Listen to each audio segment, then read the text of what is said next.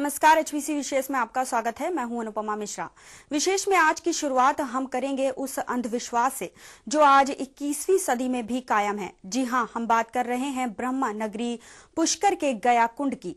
क्या है ये अंधविश्वास? आइए देखते हैं।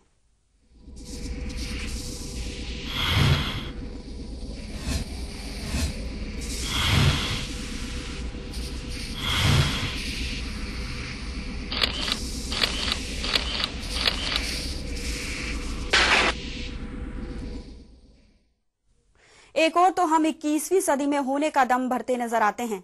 वहीं दूसरी ओर पुष्कर में महिलाओं को कैसी यातनाएँ दी जाती हैं? कुंड में स्नान कराकर महिलाओं के शरीर से ये प्रेत आत्माएँ कैसे निकालते हैं? वहीं दूसरी ओर आधुनिक युग में भी अंधविश्वास देखा जा रहा है।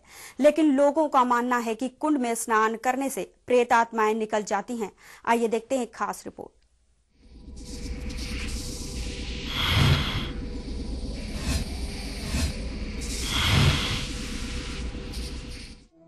ये नज़ारा है पुष्कर की बावड़ी का, जिसे भूतों की बावड़ी भी कहा जाता है।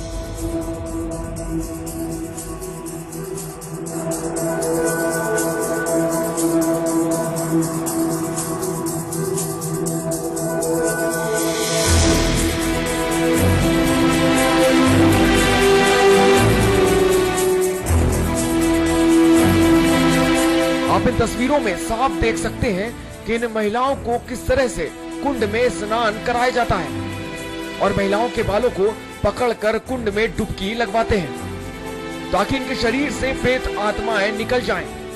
ये दृश्य देखकर आप चौंक रहे होंगे, लेकिन ये हकीकत है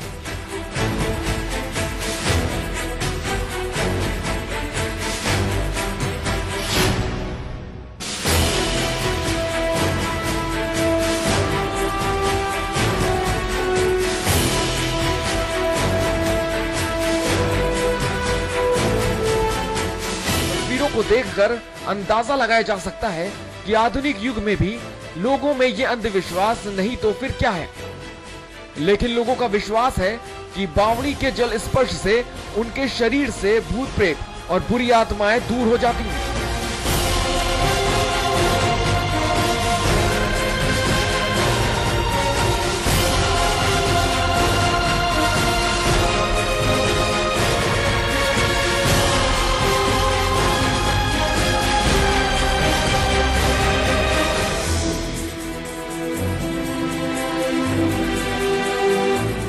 दूसरी ओर, लोगों का मानना है कि ऐसा करने से उनके भूत प्रेत दूर हो जाते हैं।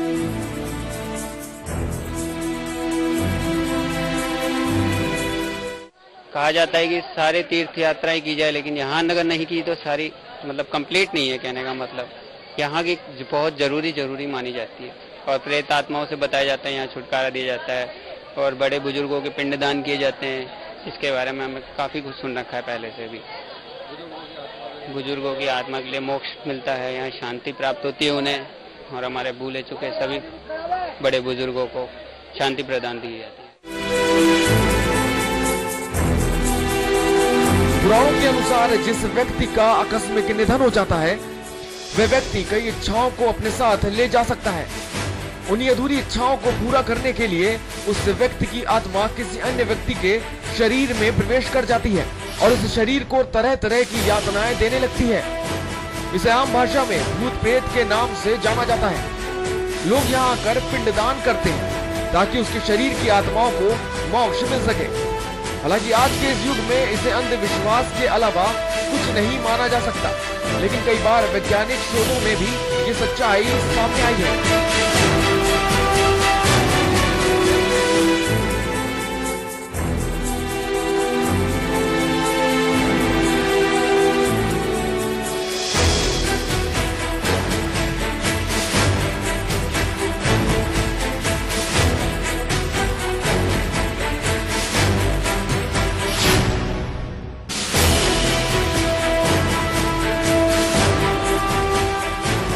आज के इस युग में इसे चाहे अंधविश्वास कहे या फिर लोगों का विश्वास, मामला चाहे जो भी हो, लेकिन लोगों का मानना है कि इस कुंड में स्नान करने से भूत प्रेत दूर हो जाते हैं। अब चाहे इसे कुछ भी कहो।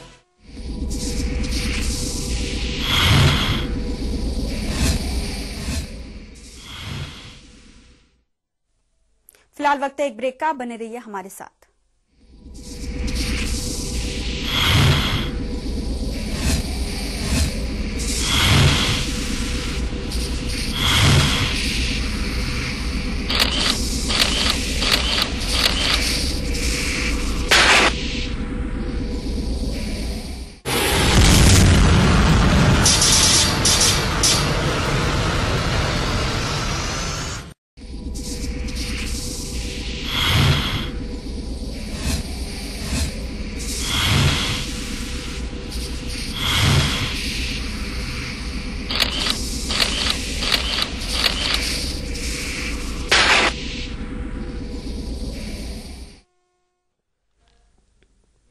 ब्रेक के बाद आपका स्वागत है। हिंदू पंचांग के अनुसार चतुर्थी और मंगलवार का संयोग होता है। उस दिन इस अवयोगा बावली में साक्षात गया माता निवास करती हैं। इस विशेष दिन बावड़ी के जल के स्पर्श मात्र से शरीर को आत्माओं के प्रकोप से निजात मिल जाती है। आइए देखते हैं ये रिपोर्ट।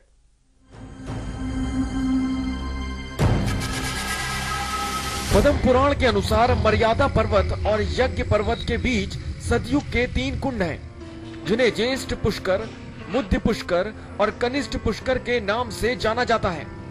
मध्य पुष्कर के समीप अवयोगा नाम एक चौकोर बावड़ी है, जिसके मध्य में जल से युक्त एक कुआँ है, जिसे सौभाग्य कूप कहते हैं। यहाँ पर पिंडदान करने से भटकती आत्माओं को मुक्ति मिल जाती है।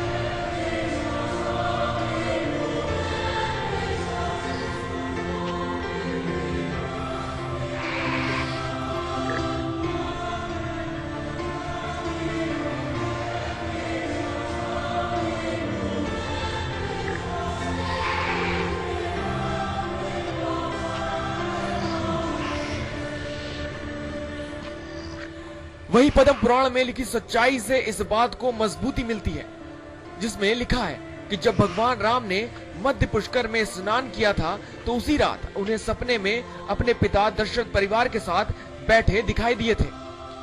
भगवान राम ने जब इस रहस्य का कारण विद्वान ऋषि मुनियों से पूछा तो उन्होंने बताया कि आपके पिता की आत्मा को अभी मोक्ष नहीं मिला। वह आत्मा अपनी मोक्ष प्राप्ति के लिए पिंडदान चाह रही है। इसके बाद ऋषियों ने अवयोगा बावड़ी के महत्व को श्री राम को बताया। उसके बाद भगवान राम ने इस बावड़ी में अपने पिता दशरथ के पिंडदान करने को कहा। भगवान राम ने भी ऋषियों के बताए गए मार्गदर्शन के अनुसार इस बावड़ी में अपने पिता दशरथ का श्राद्ध किया। ऐसा करने से राजा दशरथ की आत्मा को शांति मिली, ऐसा बताया जाता है।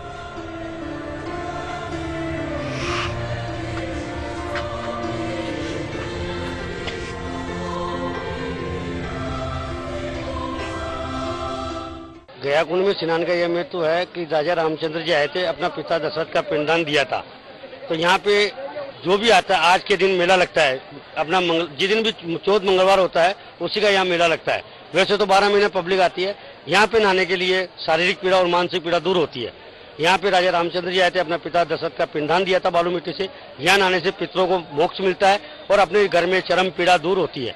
यही इसका महत्व है। प्रयात आत्मा होते तो क्या है कि घर में ओसीस के और यहाँ लाया जाता है, और यहाँ पे नारियल को ठंडा किया जाता है, और कपड़े समेत नहाया जाता है, और पिंडदान वगैरह किया जाता है, ये महत्व है। और यहाँ नहाने से, जैसे अपने मेहंदीपुर बालाजी में दर्शन करने से दागनी भूतनी पिछाड़ छूट जाती है, वैसे इस कुंड का महत्व है। यहाँ पे जल की करामात है, कोई पंडों की करामात नहीं है, या कोई यात्रियों की करामात नहीं है, या कोई भूपों की करामात नहीं है, यहाँ जल में करामात है।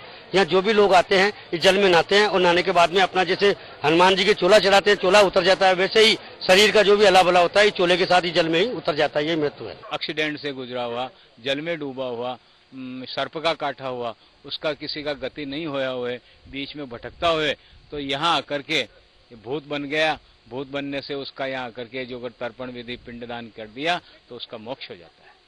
इसीलिए इसको भूतों की बावड़ी भी कहते हैं। और वैसे गया माता के नाम से भी प्रसिद्ध है। बिहार के अंदर जो गया है, वहाँ जो कर्म होता है, वो आज के दिन वहाँ का पंडित भी कह देता है, आज यहाँ गया माता नहीं है, आज गया माता पुष्कर गए हैं, वहाँ जाकर के ही आपको कर्म करना पड़ेगा, जब ही शांति मिलेगा, दूसरे दिन वहाँ चालू होता है। आज के दिन वहाँ कर्म पिंडदान नहीं किया जाता है।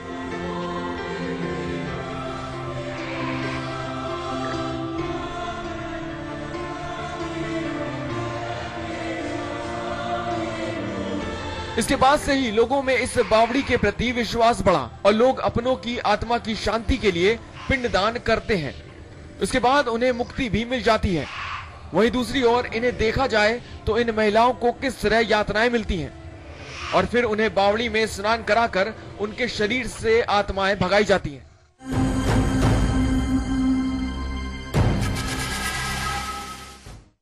फ़िलहाल वक्त एक और ब्रेक का, बने रहिए हमारे साथ।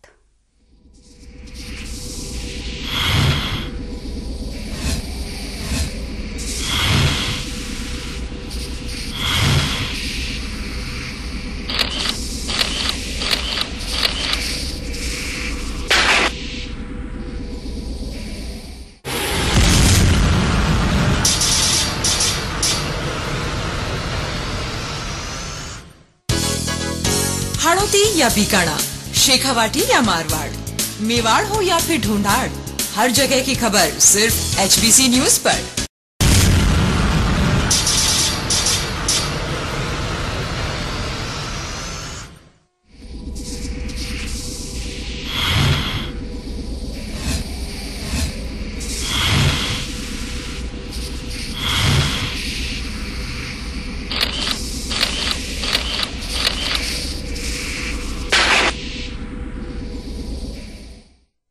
ब्रेक के बाद आपका स्वागत है।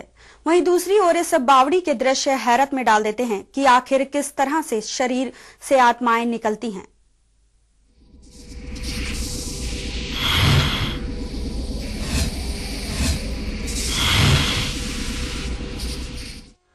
वहीं चौथे मंगलवार के दिन इस बावड़ी पर जो दृश्य दिखाई देता है वो सभी को हैरत में डाल देता है। आज के बाद में और आज के बाद में शरीर में घर में कभी नहीं आवा जा छोड़ रहा वहीं पीड़ित शरीर की तड़प पंडितों के आह्वान पर अपनी असलियत, कबूलती आत्माएँ और आत्माओं द्वारा अपनी मुक्ति के लिए बताया गया मार्ग ऐसे कड़वे सच हैं जो आज के इस भौतिक युग में भी भूत प्रेत तथा आत्माओं की उपस्थिति का एहसास दिलाते हैं।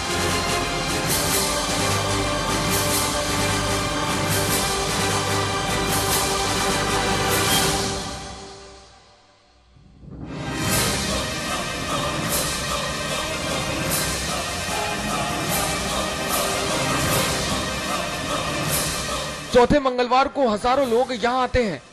लोगों का मानना है कि बावली के चमत्कारिक जल से स्नान करके अपने सभी पीड़ाओं से मुक्त होते हैं और हज़ारों वर्षों से श्रद्धालुओं की आस्था का सैलाब अपनी पीड़ाओं की मुक्ति के लिए इस बावड़ी पर स्नान के लिए उमड़ता है। इसी आस्था के चलते लोग यहाँ आकर पिंडदान और पूजा करते हैं। आप इन तस्वीरों में देख सकते हैं कि एक साथ बैठकर लोग कैसे पिंडदान करते हैं।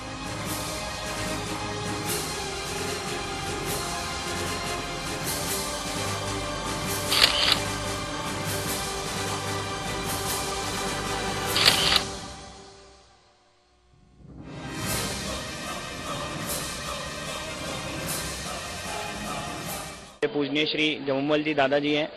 उनका पिंडदान कराने आया था यहाँ पे मैं। तो उनको मोक्ष प्राप्त होगा और हमारे संग वो हमेशा रहेंगे और हम उनका आशीर्वाद हमारे साथ रहेगा। आज जो मंगलाचूत आई है, इस महीने में पहली मतलब ये जो अभी चल रहा है महीना, ये बहुत अच्छा महीना है। और ये महीना कभी कभी आता है। इस महीने में पहली बार ही आई है मंगलाचौथ तो आज का दिन जो ये काम करवाएगा, मोक्ष का, वो बहुत ही अच्छा रहेगा। उसके लिए फल अच्छा मिलेगा।